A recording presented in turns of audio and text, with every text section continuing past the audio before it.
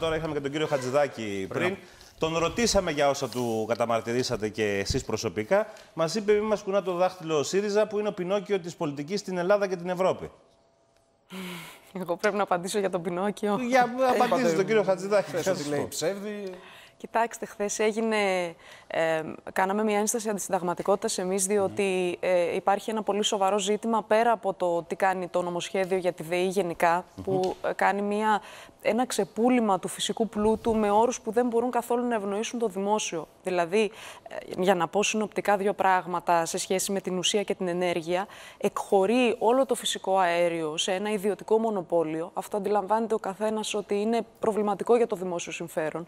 Ε, ταυτόχρονα αυξάνονται οι τιμές στα τιμολόγια των καταναλωτών για το ρεύμα. Αυτό το βιώνουν ήδη οι άνθρωποι.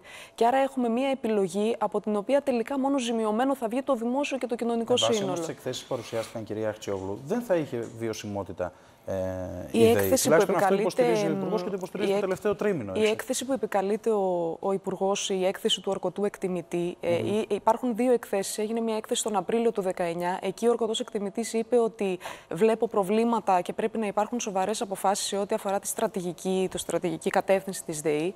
Και ήρθε ξανά το Σεπτέμβρη και είπε η ίδια, ο ίδιος ορκωτός εκτιμητής ότι υπάρχει μια ε, μ, αλλαγή για τα δεδομένα του πρώτου εξαμήνου του 19. Μια βελτίωση δηλαδή στα, στο πρώτο Αυτό εξάμεινο σημαίνει του ότι 19. ήταν βιώσιμη. ιδέα. Άρα έλεγε ψέματα ο κύριος Χατζηδάκης προεκλογικά και αμέσως μετά τις εκλογές. Ο κύριος Χατζηδάκης στο συγκεκριμένο ζήτημα προσπάθησε να πει ότι η ΔΕΗ κατέστη βιώσιμη επειδή ο ίδιος έκανε επιλογές αύξησης, επιλογές αύξησης των τιμολογίων και προ, προμήνυσε το τι μέτρα θα λάβει τώρα. Αυτό είναι ψευδές, διότι όπως σας είπα η έκθεση του ορκωτού εκτιμητή αφορά το πρώτο εξάμεινο του 19, εξάμεινο διακυβέρνησης του ΣΥΡΙΖΑ, όχι τα δικά του μέτρα και τη δικιά του περίοδο.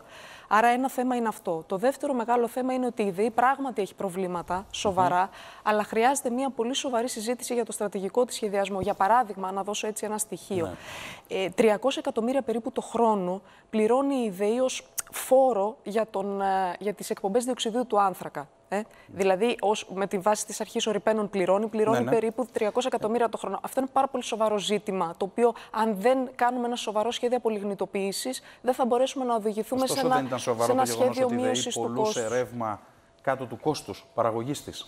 Αυτό, Και αυτό είναι κάτι που σας πιστώνει. Αυτό είναι τα Χρέων. νόμε. Αυτό είναι τα νόμε. Τα νόμε ακριβώς είχαν συμφωνηθεί από την κυβέρνηση της Νέας Δημοκρατίας ήδη πριν το 2015. Τα νόμε είχαν κλείσει, είχαν συμφωνηθεί. Εγώ όταν πήγα δηλαδή στη διαπραγμάτευση για άλλα θέματα παράλληλα, παρακολουθούσα και αυτά. Η, η, η, η συμφωνία να υπάρχει, να υπάρχει αυτό, ε, το, ο πληστηριασμός κάτω του κόστου στην πραγματικότητα, η- ήταν συμφωνία που υπήρχε ήδη πριν το 2015. Δεν μπορέσαμε πράγματι εμείς να την αλλάξουμε. Αλλάξαμε κάποια άλλα πράγματα που έχουν σημασία, όπως να διατηρήσουμε για παράδειγμα το, το μερίδιο αλλάζει του τώρα ο κύριος δημοσίου. Χατζηδάκης είναι θετικό. Ε, ο κύριος Χατζηδάκης δεν κάνει αυτό. Ο- Διατηρεί, Δεν καταργεί τις νόμες. διατηρεί τα νόμε ως έχουν, ε, προχωρεί σε μια εκποίηση του φυσικού αερίου, δηλαδή ένα φυσικό μονοπόλιο, καθίσταται ιδιωτικό Πάντως, κυρία μονοπόλιο. Αξιόγλου, πουλούσε η ΔΕΗ ε, τιμές στου ιδιώτες κάτω από αυτό που τους κόστιζε. Συμφωνώ, αλλά είχαν ήταν μια συμφωνήσει πριν, συμφωνία δεν το η άλλαξε. οποία Εκεί- υπήρχε πριν το Μάλιστα, 2015. Τώρα αλλάζει αυτό, αν καταλάβαμε καλά, ή δεν αλλάζει; Εγώ δεν είδα αυτό το πράγμα να αλλάζει μέσα στο νομοσχέδιο, όπως δεν είδα να αλλάζει και το ζήτημα της Ο- απολιγνητοποίησης, ο- που είναι η στρατηγική. Ο τσακωμός στρατηγικός πάντως, χαρακτήρας. αντιλαμβάνομαι, χθες έγινε για τις μονιμοποιήσει. Όχι, ο τσακωμός δεν έγινε για τις μονιμοποιήσει και είναι πολύ Τελικά τι ισχύει στενάχωρο. για την, νομ- για την Που ο μονιμοποίηση. Υπουργός είπε ότι ο τσακωμός έγινε γι' αυτό. Εσείς οι, ή- οι μονιμοποιήσει έχουν καταργηθεί από το 2012. Α, κατέθεσα στα πρακτικά κρίμα που δεν σας έφερα σήμερα και τα στοιχεία και σε εσάς. Από το νόμο του 12, το 4046 του 12, ήταν ρητό ότι όλες οι μονιμοποιήσεις καταργούνται. Ρητό, καθαρό, σαφές μέσα στο νόμο. Και η πράξη Υπουργικού Συμβουλίου του 12, τότε θυμάστε του Φεβρουαρίου, Άρα, πώς τι αντίδραση. παρά έλεγε Εφόσον την επόμενη συνεχίζετε κάτι μέρα. που είναι από το 12. ότι την επόμενη το μέρα κάνατε και σταμα- εσείς, το κάνει και ο Χατζηδάκης και τώρα το 12 αντιδράτε εσείς; δεν ήμασταν εμείς κυβέρνηση. Όχι, Το όχι, 12 ξεκίνησε, είπατε, από το 12. Κα- Όχι, δεν ξεκίνησε. Καταργήθηκαν οι μονιμοποιήσεις. Η, η μονιμότητα καταργήθηκε το 2012 και στη ΔΕΗ και σε πολλούς άλλους οργανισμούς. Σήμερα δεν σχετίζεται το νομοσχέδιο με τη μονιμότητα. Το νομοσχέδιο θα ψηφιστεί σήμερα. Δεν σχετίζεται με τη μονιμότητα. Ουδέν τέτοιο υπάρχει στο νομοσχέδιο. Άρα δεν βάλατε θέμα εσείς Θέμα. για την κατάργηση. όχι, της όχι, όχι, νομιμότητας. όχι. Εμείς δεν βάλαμε Και αυτό το το λέω θέμα. αυτό γιατί, Εμείς ε, το με θέμα αυτή, που με αυτή γύραμε. τη συζήτηση που έγινε χθες που άκουσα και εγώ στη Βουλή, γιατί δεν την είδα, την άκουσα στο ραδιόφωνο ε, το πρωί. Ε, είδα ότι αντιδρούσατε για, το, για τη μονιμότητα. μονιμότητα. αυτό όχι, όχι, καταλάβα. όχι, Ε, λάθος, κατάλαβα λάθος. ότι λέει ότι ισχύει από το ΔΕΗ ανανεώσιμες. Η αλήθεια είναι ότι μου το Μισό λεπτό, στείλανε. μισό λεπτό. Άλλο, άλλο θέμα. Εμείς το θέμα που εγείραμε δεν αφορά τη μονιμότητα η Μάλιστα. οποία έχει καταργηθεί από το 2012 και τίποτα σχετικό δεν υπάρχει σε αυτό το νομοσχέδιο. Το θέμα που εγείραμε είναι το εξής. Το νομοσχέδιο προβλέπει ότι όσοι προσληφθούν από τώρα και στο εξής στη ΔΕΗ δεν θα καταλαμβάνονται από τη συλλογική σύμβαση που υπάρχει στη ΔΕΗ.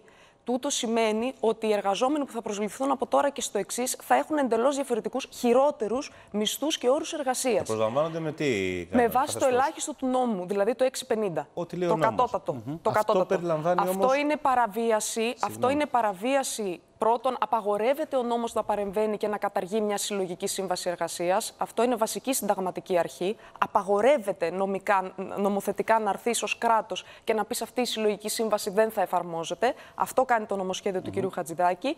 Και επίσης δημιουργεί εργαζόμενους δύο ταχυτήτων, δηλαδή λέει ότι όσοι προσληφθούν από τώρα και στο εξής θα έχουν χειρότερους μισθούς και όρους εργασίας από αυτούς που εργάζονται τώρα. Δηλαδή θα έχουμε δύο ανθρώπους στο ίδιο πόστο, με τα ίδια προσόντα, με την ίδια δουλειά θα κάνουν και να παίρνουν άλλους μισθούς. Αυτό το θέμα εμείς εγείραμε, για αυτό το θέμα εγείραμε σοβαρό ζήτημα χθες και την ένσταση της αντισυνταγματικότητας. Επομένως, κυρία Αχτσιόγλου, ουδέν η- με τη η- μονιμότητα. ουσιαστικά η κυβέρνηση ξεπουλά τη ΔΕΗ, καταργεί τα δικαιώματα των εργαζομένων. Νομίζω, είπατε κάπου ότι καταργούνται και τα δικαιώματα των συνδικαλιστών μέσω του νομοσχεδίου, διορθώστε με αν κάνω λάθος.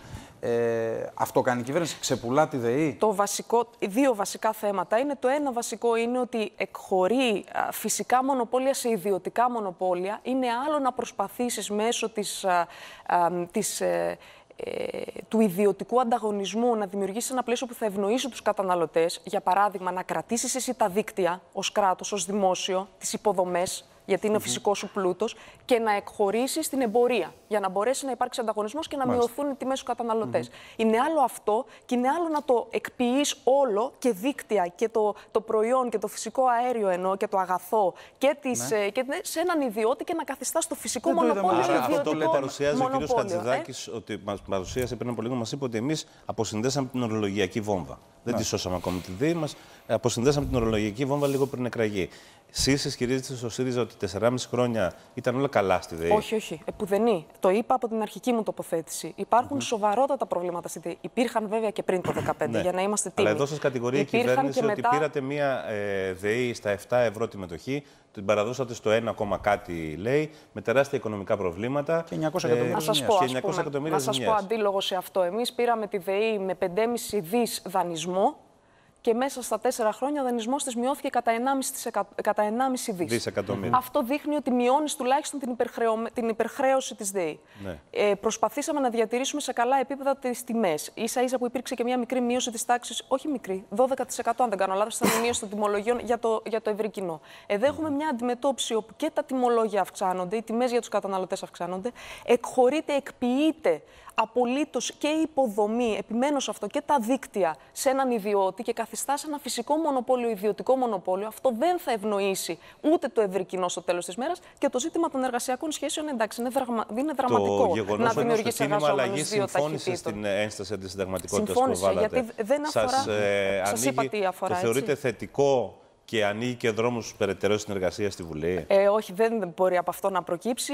Το κίνημα αλλαγής άκουσε την ένσταση αντισυνταγματικότητας. Είναι πολύ εύλογη. Γιατί η δημιουργία εργαζομένων δύο ταχυτήτων, ξαναλέω, να κάθεστε στο ίδιο πόστο και ο ένας να πληρώνεται με 2 χιλιάρικα και ο άλλος με 6,50 και να κάνετε την ίδια δουλειά, είναι πρόδειλη αντισυνταγματικότητα. Είναι τεράστιο πρόβλημα. Απαγορεύεται αυτό. Όπως και ταυτόχρονα να παρεμβαίνεις με νόμο και να λες αυτή η συλλογική σύμβαση σε αυτούς θα ισχύει, σε αυτούς δεν θα ισχύει. Αυτά δεν γίνονται, δεν απαγορεύονται. Δεν είναι ε, σοβαρά πράγματα ούτε από το Σύνταγμα επιτρέπονται, ούτε από την ε, τάξη Εσείς από το 90 και συμφωνείτε μετά. ότι ε. πρέπει η ΔΕΗ να μ, απαλλαγεί, να το βάλω εντός εισαγωγικών, από κάποιο προσωπικό. Η ΔΕΗ πρέπει να κάνει Με μία. την έννοια ότι μιλάτε και εσείς για πολυγνητοποίηση. Τώρα μου έχουν στείλει και διάφορα μηνύματα από την Κοζάνη. Η αλήθεια είναι ότι θα λειτουργήσει νέα μονάδα και τι θα γίνει και όλα αυτά.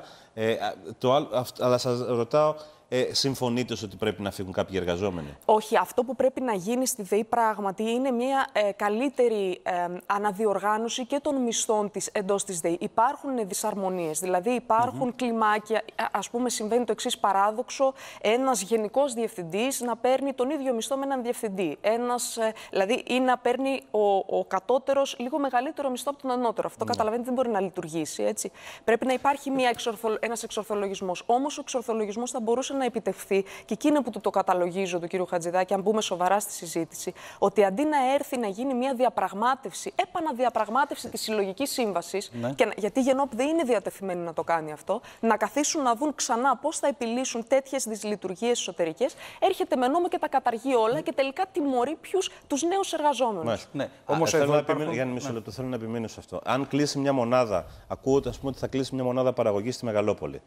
Οι εργαζόμενοι είναι απαραίτητο να μείνουν στη ΔΕΗ, τους έχει ανάγκη η Η επιχείρηση. ΔΕΗ έχει πάρα πολλές ανάγκες σε άλλες. Ε, κατευθύ, σε άλλες, ανα- σε άλλες υπηρεσίες. Πρέπει να γίνει, θα μπορούσε να γίνει μια ανακατανομή του προσωπικού. θα την μπορούσε να εθελούσια γίνουν διαφωνείτε; μετατάξεις. Η, εθ- με την εθελούσια την ίδια, ε, ναι, διαφωνούμε, διότι εν προκειμένου έχει ένα ε, σχέδιο που δεν στην πραγματικότητα δεν υπάρχει ένας στρατηγικός σχεδιασμός. Δεν το βλέπεις πουθενά τι θέλει να κάνει, δεν έχει οργανόγραμμα, δεν έχει πουθενά πει εγώ σκοπεύω να κλείσω αυτό και να, με, να λειτουργήσω αυτό, να δώσω βά, βάσος- βάση σε αυτό για να μπορέσω να ανακατανείμω το προσωπικό ή να εξυπηρετήσω αυτές τις ανάγκες. Μέσα στο νομοσχέδιο, δηλαδή, ούτε στο νομοσχέδιο, αλλά ούτε και όταν τον προκαλέσαμε στη Βουλή, να μας εξηγήσει ένα στρατηγικό σχέδιο. Το ίδιο ισχύει και με την απολιγνητοποίηση.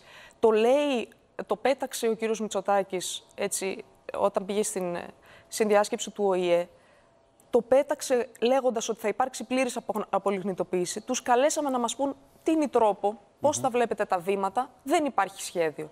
Ε, χρειάζεται μια Δηλαδή- σοβαρή, ένας σοβαρός στρατηγικός σχεδιασμός και όχι μια προσέγγιση που λέει τα πουλάω όλα, τα εκχωρώ όλα σε έναν ιδιώτη, ποιον, με τι όρους για να, για να έρθει να Ωστόσο, σώσει. θα πρέπει να μας πείτε τι ίσχυε και επί των δικών σας ημερών αφορικά με το μισθολόγιο. Και αν καταλαβαίνω καλά, δηλαδή, όποιος προσλαμβάνεται στη ΔΕΗ, τώρα νέο προσλαμβανόμενος, πρέπει να παίρνει 2.000 ή Όχι, να συζητήσουμε δεν να είναι παίρνει τα αυτό ίδια το με κάποιον που έχει 20 μισθολόγιο. χρόνια. Αλλιώς, πώς θα είναι Όχι, ένα όχι. νέο καθεστώς Η- Η εργασίας. ΔΕΗ αυτή τη στιγμή έχει μια επιχειρησιακή συλλογική σύμβαση. Δεν την έχω φτιάξει εγώ. Ναι. Την έχουν φτιάξει η- ο εργοδότης, η δι- η διοίκηση δηλαδή, με τους εργαζόμενους, με τη ΓΕΝΟΠΔΗ. Έχουν καταλήξει, έχουν συμφωνήσει σε μια επιχειρησιακή συλλογική σύμβαση. Η οποία έχει μισθολόγια, έχει κλίμακες, έχει αλλαγή του Καλά, αυτό μισθολογίου δεν είναι ανάλογα με Ευαγγέλιο, μπορεί τα να αλλάξει, χρόνια. φαντάζομαι, έτσι, Προφανώς. μεταξύ των δύο Αλλά- μέρων. Ακριβώς. Ναι. Εσέ, Στα εσάς η λόγια μου τοποθέτησή σας έρχεστε. ποια είναι, Με- Ότι πρέπει να, είναι, να παραμείνει ως έχει Μεταξύ ή των να δύο- πάμε σε κλίμακα προς τα κάτω όπως... Μετα... Μεταξύ των δύο μερών όμως. Όχι να έρθει το κράτος και να παρέμβει και να πει η συλλογική σύμβαση δεν εφαρμόζεται και ποιου δεν εφαρμόζεται στους από εδώ και μπρος. Αυτό είναι άδικο, καταφανώς άδικο. Δηλαδή, μπορεί να πάει ένα παιδί, ένας νέος άνθρωπος ή μη νέος, ο οποίος να έχει ε, 10 προσόντα τυπικά, 10 πτυχία και να τον πας στα 6,50 για ποιο λόγο; Και να κάνει την ίδια δουλειά με τον διπλανό του. Κατα... Νομίζω πως είναι καταφανής η αδικία. Και τέλος πάντων, εγώ θα προτιμούσα να έρθει ο κ. Χατζηδάκης στη Βουλή χθες και να πει: Ακούστε να δείτε, η προσέγγιση μας είναι ότι αν μειώσεις το εργατικό κόστος, ε, τα πράγματα θα πάνε καλύτερα. Ναι. Και, αν, μη- και επειδή δεν τους βλέπω αυτούς να έρχονται στην διαπραγμάτευση, αν και αυτό δεν επιχειρήθηκε ποτέ, δεν ξέρω πώς θα μειωθεί το εργατικό Δεν κόστος πρέπει να και το μειωθεί κάνω. και το εργατικό κόστος στη ΔΕΗ. Δεν είναι εκεί το μείζον, δεν είναι αυτό το μείζον πρόβλημα της ΔΕΗ, ούτε λέει- εκεί είναι συμφωνούμε, πρόβλημα. αλλά δεν είναι και αυτό ένα θέμα. Δεν, δεν είναι αυτό το οποίο της κοστίζει της ΔΕΗ. Όταν σας είπα, για παράδειγμα, ότι 300 εκατομμύρια το χρόνο πληρώνει φόρο για τις εκπομπές διοξιδίου του άνθρακα. Αυτό είναι διεθνές το θέμα, δεν μπορείς να κάνεις τίποτα. Μα γίνεται τα μεγάλα κόστη όμως. Δηλαδή, η απολιγνητοποίηση είναι. Συμφωνώ. είναι ε, Αλλά το βασική απολιγνητοποίηση προτεραιότητα. σημαίνει ότι θα κλείσουν μονάδες.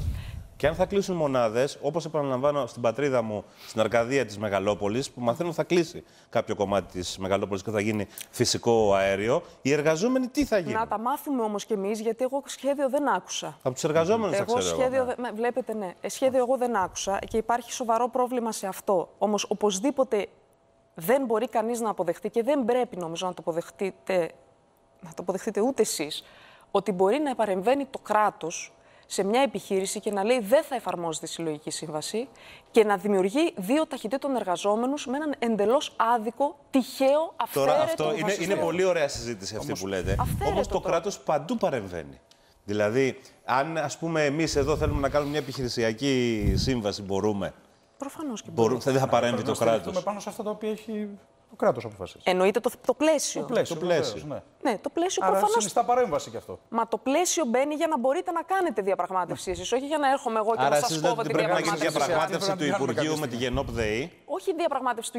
Ναι, κανονικά η διοίκηση της ΔΕΗ με τη Γενόπ ΔΕΗ. Η διοίκηση της ΔΕΗ Αν να το έχετε, όχι ζήτημα το ήταν Υπουργείο. αυτό, Ναι. ας προσέρχονταν να κάνουν μια διαπραγμάτευση να δουν τι μπορούν να αλλάξουν ή να εξορθολογήσουν Συμφωνείτε στο με τη χώρα Πάντως σε καμία περίπτωση αυτή η διάκριση του, του πότε προσλήφθηκες. Συμφω- Δηλαδή προσλήφθηκα σήμερα και θα παίρνω 650, προσλήφθηκα χθες και θα παίρνω. Ε, Ε, δεν έχει λογική. συμφωνείτε Αυτό με να την. ε, ε, αν υπάρχει πρόθεση από τους εργαζόμενους του Γενόπ ΔΕΗ να προχωρήσουν σε κινητοποίησεις, θα τη στηρίξετε τις κινητοποίησεις τους; Έκαναν ήδη κινητοποίησεις. Κάνουν μια 48 ώρες. Εμείς τις στηρίζουμε τις κινητοποίησεις τους γιατί έχουν πολύ δίκαια αιτήματα σε αυτό το ζήτημα. Είναι προφανές ότι έχουν δίκαιο αίτημα σε αυτό. Για το- Και είναι και πολύ συζητήσιμοι. Θέλω να το πω γιατί τους συνάντησα. Και είπαν αυτό, ότι ε, το λιγότερο που θα έπρεπε ήταν να έρθουμε σε μια διαπραγμάτευση με τη διοίκηση, να δούμε έναν εξορθολογισμό. Αν το τέλος πάντων το θέμα είναι ε, το επίπεδο των μισθών των γενικών διευθυντών εν, εν σχέση με τους Ναι. διευθυντές. Αυτό το πράγμα, η βίαιη παρέμβαση ε, που καταργείς αμέσως ό,τι έχει συμφωνηθεί ε, με έναν τρόπο αυταρχικό, ε, δεν είναι ο λογικό και είναι και Κλείνοντας, άδικο. κυρία Αξιόγλου, ένα θέμα που. Θα φύγουμε από αυτό το θέμα της ΔΕΗ, νομίζω το εξαντλήσαμε. Το συζητάμε 20 λεπτά σχεδόν. Ε, και έχει να κάνει με το, την προηγούμενη θητεία σας στο Υπουργείο Εργασίας. Ο κύριος Βρούτση λέει ότι δώσετε από λάθος 27 εκατομμύρια. Αυτό σε τι αφορά, σε αναδρομικά; Σε, σε συνταξιούχους. Και, δώσ- Ακούστε και τα τώρα, ζητάνε πίσω το από τον δια- κόσμο. Το τώρα, αυτό είναι διάβασα θέμα. τώρα αυτό το πράγμα. Ε, Αυτό, το ενημερώθηκα γι' αυτό. Ε, αυτά τα ζητήματα είναι υπηρεσιακά τεχνικά λάθη τα οποία συνέβαιναν και συμβαίνουν. Και το 2014 είχαν δοθεί λάθος αναδρομικά και αναζητήθηκαν από τους ανθρώπους. Λάθος όχι γιατί έφταιγε ο Υπουργός ή ο- υπήρχε πολιτική κατεύθυνση.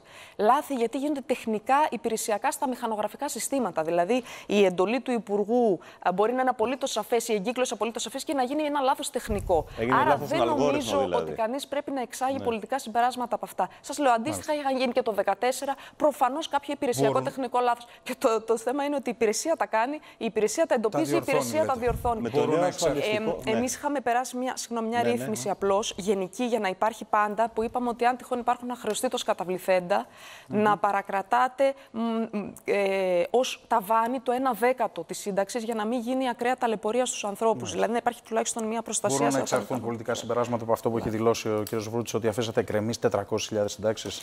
Είναι ψέμα, ισχύει; Ο κύριος Βρούτσης έχει επικαλεστεί πολλά νούμερα όλο αυτό το διάστημα. Είχε φτάσει να πει μέχρι και ένα εκατομμύριο. Ε, δεν είναι σωστό, δεν είναι αληθές αυτό. Έχω είναι αληθές. καταθέσει τα στοιχεία στα πρακτικά της Βουλής. Ε, ίσως θα έπρεπε να τα φέρνω και όταν συζητάμε εδώ για ε, ευκολία. Ε, εμείς, εμείς είχαμε παραλάβει 400.000 απλήρωτες εκκρεμείς συντάξεις από τον κύριο Βρούτσι, παραδώσαμε 100.000, δηλαδή είχαμε μία μείωση 70%, παρέμειναν όμως αρκετές από ό,τι καταλαβαίνετε, γιατί 100.000 είναι αρκετές. Και το πρόβλημα είναι ότι το τελευταίο χρονικό διάστημα με όλες αυτές τις κορώνες, τις επικοινωνιακές, τα, μ, οι εκκρεμότητες αυξάνονται. Επομένως, θα έχει ένα ενδιαφέρον όταν θα τον ξαναδείτε να τον ρωτήσετε πόσες συντάξεις έβγαλε από τότε που είναι υπουργός, γιατί δυστυχώς βγάζει πολύ λιγότερες από αυτές που έβγαιναν το προηγούμενο διάστημα και έχουν αυξηθεί οι εκκρεμότητες. Ευχαριστούμε πολύ, κυρία Να Αξιόγλου. είστε καλά. Σας Εγώ- Να ευχαριστούμε τα Να είστε πάρα, πάρα συζητάμε. καλά. Η συζήτηση είναι πολύ βασικό πράγμα. Ευχαριστούμε πολύ. Να είστε καλά. Σύντομο διαφημιστικό διάλειμμα, επανερχόμαστε.